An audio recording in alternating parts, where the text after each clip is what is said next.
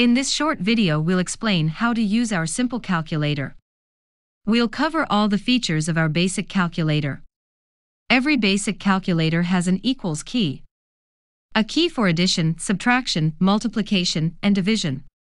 We'll also look at the other features of the calculator. Starting out with something simple. We'll take 8 and then add 16. That equals 24. The C key will clear the calculator and start you back at 0. Let's start with 12 and subtract 4. That equals 8. Again, clear the calculator. Okay, let's try multiplication. Let's start with 6 and multiply by 6. That equals 36. Okay, clear the calculator. Now for division. Start with 12 and divide by 2. That equals 6.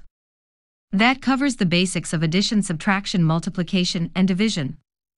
Sometimes we don't have whole numbers, and we have to deal with decimal places. We can use the decimal point key here. If we start with 10.5 and then add 6, this gives us 16.5. OK, clear the calculator. The plus minus button takes the value and converts it from a positive value to a negative value, or a negative to a positive value. If we key in 12 plus and then 5, then press the plus minus button to make the 5 negative, and then press equals. That equals 7. Pressing the plus minus button switches between negative and positive numbers. OK, clear the calculator. The delete key is very helpful when we make mistakes. If I start with 12 and I want to subtract 8, but I hit the 9 by mistake. I can use the delete key to delete the last number I typed, and then enter the correct number. OK, clear the calculator. Let's try some of the other function keys. This is the square key. It will take whatever value I key in and square it. It will multiply it by itself. If I key in 10 and press the square key, we'll get 100. That is, 10 multiplied by 10 equals 100. OK, clear the calculator. Now, let's try the square root key. Square roots are really the opposite of squares. If you remember, squares are numbers getting multiplied by themselves. The square root of a number is the value, which when multiplied by itself, gives the original number. Squares and square roots are vice versa methods. For example, the square of 2 is 4 and the square root of 4 is 2. Again, if I want to find the square root of 9, I key 9 and then hit the square root key.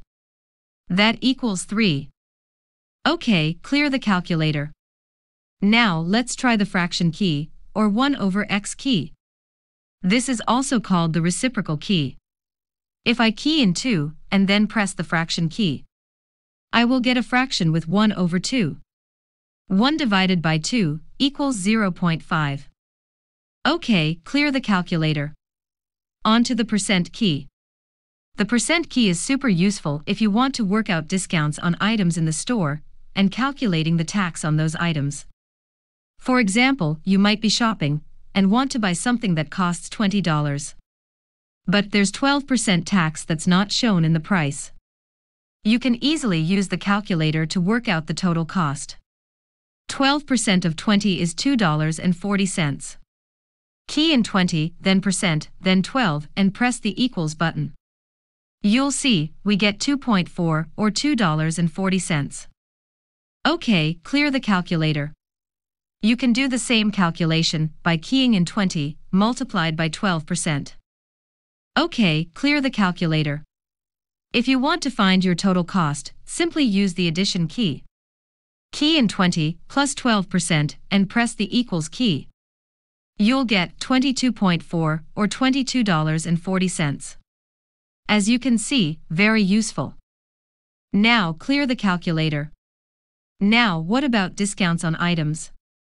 Let's say everything in the store is 20% off, and you want to buy something priced at $20. Key in 20 minus 20% and press equals. That comes to $16. But there is still 12% tax on that, so we'll add that now. Key in plus 12%. So now we're paying $17.92. Okay, clear the calculator. Something a little more advanced is the use of parentheses to control the order of calculations. The two parentheses keys let you decide which part of the calculation happens first.